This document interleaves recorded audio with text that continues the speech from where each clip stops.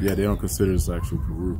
They, you know, it's their own culture and history and everything, their own language, food, and everything. Just like cuy is what they eat.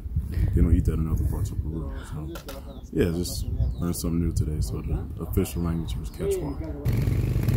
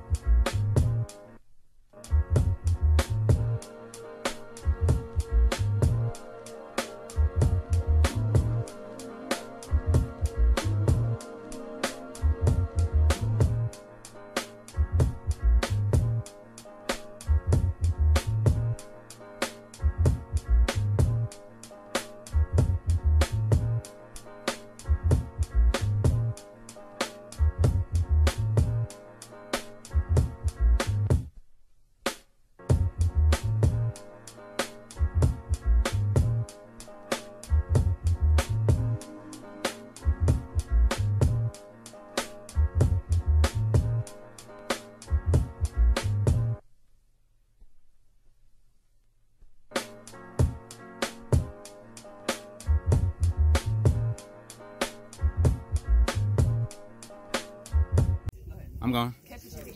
I'm on.